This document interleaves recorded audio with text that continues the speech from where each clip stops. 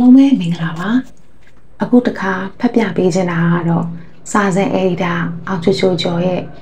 ဥသက်အထုပ်ပတိစာအုပ်ကလေးပဲဖြစ်ပါတယ်ဥသက်ဤမွေးဖွားရာဒေတာနဲ့ငယ်ဘဝ1909ခုနှစ်ဇန်နဝါရီလ22ရက်တောက်ကြနေ့ညတကောင်ကျော်ပြီးစ9မိနစ်တွင်မြို့ဝကျွန်းပေါ်ဗတ်တော်မြို့လေးတွင်ဒေါ်နန်းတောင်မှဥပန်ကိုမွေးဖွားခဲ့လေသည်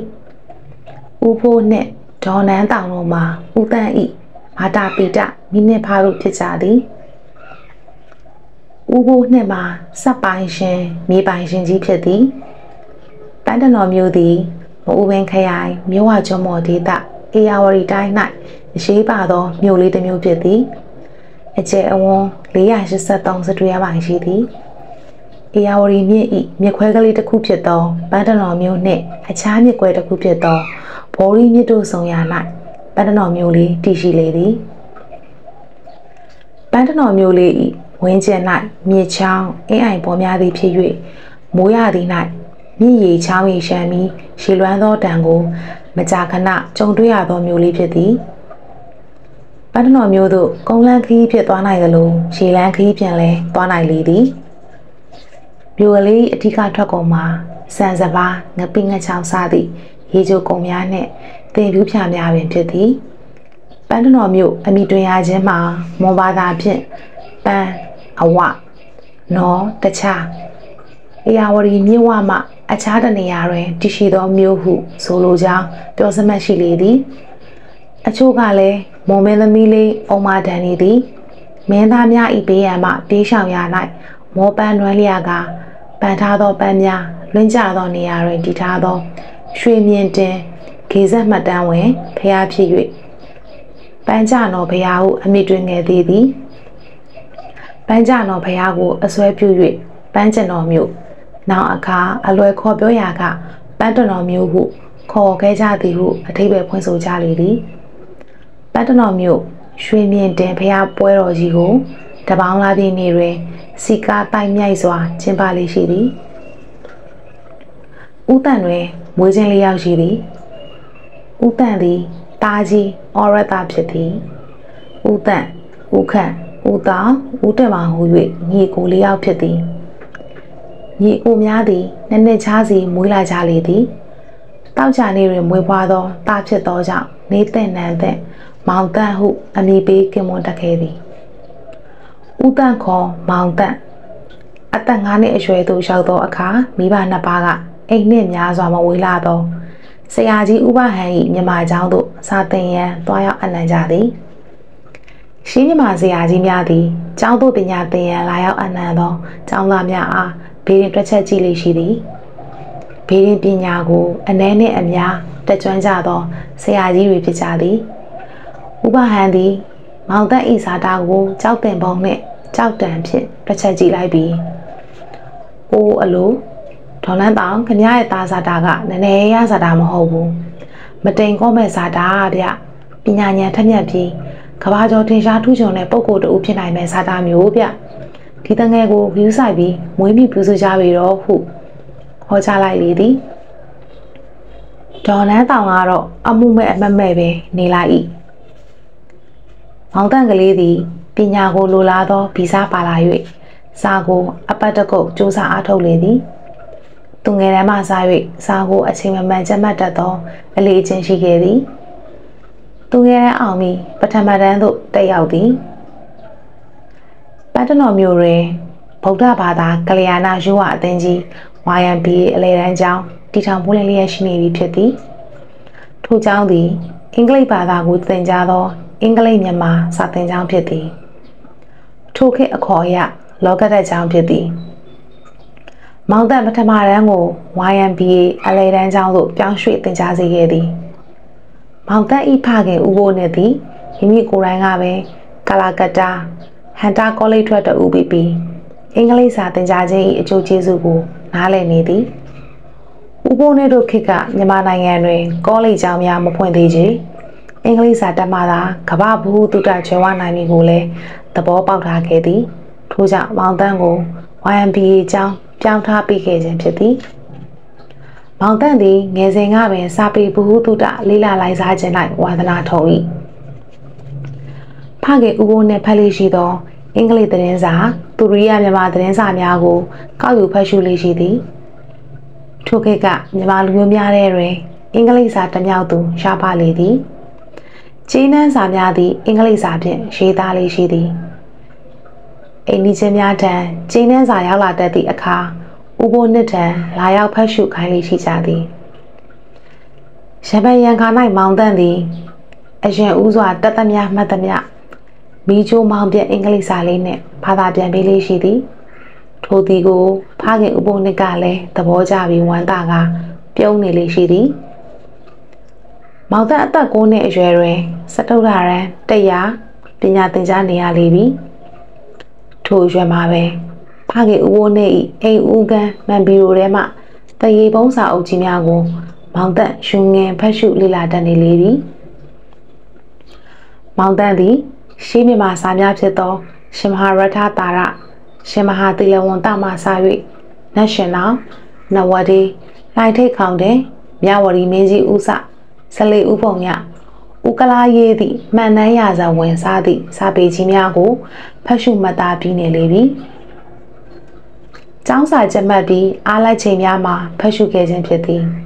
။မောင်တန်သည်စာပေဖတ်ရှုခြင်းအပြင်ပကြီးရေးဆွဲခြင်းကိုလည်းဝါသနာပါခဲ့လေသည်။မဂဇင်း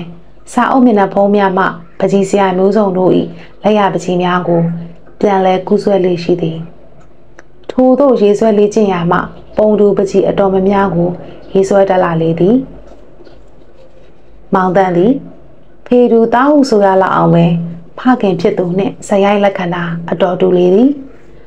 ဖခင်ကဲ့သို့ပင်အင်္ဂလိပ်စာကျွမ်းကျင်တက်မြောက်လာသည် အင်္ဂလိပ်လိုပြောတတ်လာသည် ပြောရ၌လူကြီးလူကောင်းလေးတန်ပေါအောင်ပြောနိုင်လေသည်ဥဖိုးနှင့်သည်ကလာကတားမြို့ဟန်တာကောလိပ်မှ ဥပစာတန်းနှင့်ညီမျှသော FA စာမေးပွဲကိုအောင်မြင်ခဲ့သောကြောင့်ပညာရေးနှင့်ကမ္ဘာရှိရာများကိုစိတ်ဝင်စားပြီးဘူတုဒကျော်ဝါသူဖြစ်သည်ဥပိုးနှင့်သည်ဗုဒ္ဓဥသားဖြစ်ပြီးအေးချမ်းစွာနေထိုင်တတ်ကလူတစ်ဖက်သားအပေါ်တနာကျင်နာတတ်လေသည် ဖြောင့်မတ်တည်ကြည်ပြီးရိုးသားဖြူစင်သည်သားတွေနှင့်ပျော်ရွှင်စွာနေတတ်တော်လဲအကျိုးမရှိသောအလုပ်ကိုမလုပ်အကျိုးမရှိသောစကားကိုမပြော အတိတ်ပဲမရှိတာကိုလည်းမယုံကြည်တတ်ပေဖခင်ကောင်းပိသားစွာ အမှုအကျင့်ကောင်းစိတ်သက်ကောင်းများကိုတားလီရောက်ဤအုံနောက်ထဲရှိုက်သွင်းပေးထားခဲ့လေသည်ဖခင်၏အကျင့်ကောင်းကိုရရှိသောမောင်သက်မှာငယ်စဉ်ကပင်မရေရာသောကိစ္စများကို ပြောဆိုနားထောင်ခြင်းမရှိ အချိန်ကိုအလဟတ်တက်လည်းမဖြုံးတိတတ်ပေနမများနှင့်ပတ်သက်၍လည်းအယုံအကြည်မရှိနတ်နှင့်ပတ်သက်သောပုံဝင်များကိုလည်းကြိုက်နဲ့တက်လေးမရှိ အရာရာကိုစဉ်းစားချင်းချင်းပြီးမှယုံတတ်လေသည်။ကျောင်းတွင် မုတ်ပဲတည်ရည်စာများဝယ်စားသောအကြံလဲလုံးဝမရှိခဲ့။မိဘနှစ်ပါး၏စကားကိုလည်းမြေဝဲမကြနားထောင်တတ်သည်။အတန်းထဲတွင် မောင်တန့်သည်စာအတော်ဆုံးကျောင်းသားဖြစ်ခဲ့သည်။မောင်တန့်၁၇နှစ်သားအရွယ်တွင်1920ခုနှစ်၌ပထမကျောင်းသားတပိတ်ဖြစ်ပေါ်လာသည်။မောင်တန့်သည်တပိတ်သဘောတရားကို တေချာနားမလဲပဲပါဝင်ခဲ့လေသည်မောင်တန်းကဲ့သို့ပင်အသက်73နှစ်သားသာရှိသောကျောင်းသားတယောက်လည်းတပိတ်မောက်ရာတွင် ပါဝင်ဆန္ဒပြခဲ့လေသည်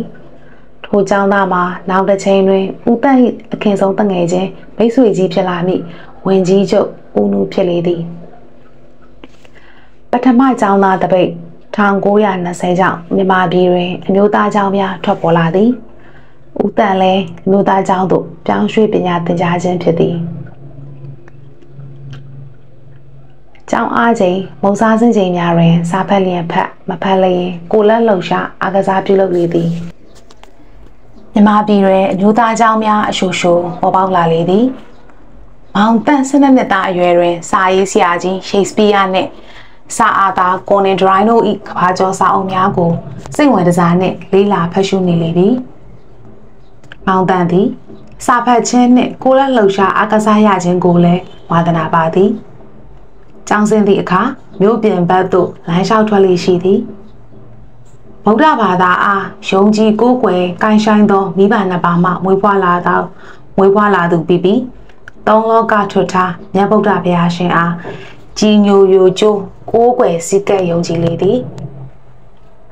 အနောက်တိုင်းစာပေများကို လေးလာဖတ်ရှုတော်လဲအခြားဘာသာတရားများဤလွှမ်းမိုးမှုကိုမြတမောမြမခံပေမောင်တန်သည်လက်ရေးကိုတေတက်လှပစွာရေးတတ်သည်1922ခုနှစ်တွင် မောင်တန်သည် YMBA အလဲတန်းကျောင်းမှတတမတန်းအောင်မြင်ပြီးအမျိုးသားအထက်တန်းကျောင်းသို့ပြောင်းရွှေ့ကပညာဆက်လက်သင်ကြားလေသည် မောင်တန်14နှစ်သားအရွယ်တွင်ဗုဒ္ဓဘာသာထုံးတဲ့ဆရာအရာညီများနှင့်အတူရှင်ပြုမင်္ဂလာပြုလုပ်ခဲ့လေသည်ကိုရင်ဝိကြသူများမှာမောင်တန်မောင်ခန့်နှင့်မောင်တောင်းတို့ဖြစ်ကြသည်အငယ်ဆုံးညီမောင်တယ်မောင်မှာအသက်ငယ်သည်၏သင်္ကန်းမနိုင်သေးသောကြောင့်သင်္ကန်းစီမပေးသေးချေမောင်တန်းတို့ရှင်ပြူသောကျောင်းတိုင်မှာပန်းတနော်အနောက်ပိုင်းရှိတရားဦးကျောင်းတိုင်ဖြစ်သည် တရားဦးကျောင်းတိုင်ဆရာတော်ဦးဥဒ္ဓမမှာဦးဘိုးနှင့်ဒေါ်နန်းတောင်တို့ကိုယ်ွယ်သောဆရာတော်ဖြစ်သည်ကိုရင်ဝိတိရက်သက်တပတ်အတွင်းမှာပဲဆရာတော်ဦးဥဒ္ဓမတန်တွင် ပါဠိစာပေကိုစီကပ်လေးလာဖြစ်ခဲ့လေသည်ခொနရက်ပြည့်သောအခါကိုရင်လူတွဲကြရပြီးကြောင်းပြန်တက်ကြရလေသည်ဥပိုးနဲ့သည်ငွေကြေးပြည့်စုံပြီးခေပညာတတ်တဦးဖြစ်သောကြောင့်အနောက်တိုင်းမှလာသောအစာအသောက်များကို ဝယ်ယူစားတောက်လေရှိသည်ဟန်တလီနှင့်ပါလမဘီစကုံမုံများထက်မောင်တန်းတို့ညီကိုတစုမှာမြန်မာမုံများကိုပုံမနှစ်သက်စွာစားတောင်းလေးရှိကြသည်မိခင်ဖြစ်သူဒေါ်နန်းတောင်လုံးကျွေးသောမုံစိမ်းမောင်းနှင့်မုံပြားတလက်ကိုမောင်တန်းတို့ညီကိုတွေအလွန်နှစ်ချိုက်ကြသည်1925ခုနှစ်နိုဝင်ဘာလထုတ်ကင်းတောက်လူငယ်မဂဇင်းတွင်မောင်တန်းဤအင်္ဂလိပ်ဘာသာဖြင့်ရေးသောစောင်းမပါလာသည်ဖ ခင်ဖြစ်သူထံမှအင်္ဂလိပ်အရေးအပြောအဖက်ပညာအမွေကိုမောင်တန့်ကောင်းစွာရရှိခဲ့လေသည်မောင်တန့်ကိုနိုင်ကလည်းတရင်စာဆရာစောင်းပါရေးဆရာမျိုးဖြစ်ချင်ဆန္ဒရှိခဲ့သည်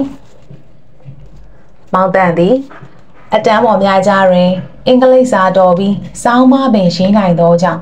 ချီးကျူးခံရသောစံပြကြောင်းသားဖြစ်ခဲ့ရလေသည်။မောင်တန်သည် အသက်ငယ်တော်လဲလူကြီးလိုနေတတ်သည်။စိတ်ကောင်းရှိပြီးအေးချမ်းစွာနေထိုင်တတ်သည်။လူတကာနှင့်တင့်မြတ်အောင်ပေါင်းသင်းတတ်သည်။အပေါင်းအသင်းလဲဝင်ဆန်သည်။ခိုက်ရန်ဒေါသဖြစ်ပွားခြင်းကိုဝေးစွာရှောင်ကျဉ်သည်။တရားမျှတမှုလိုလားပြီးလူအများဤချစ်ခင်လေးစားမှုကိုခံရသည်။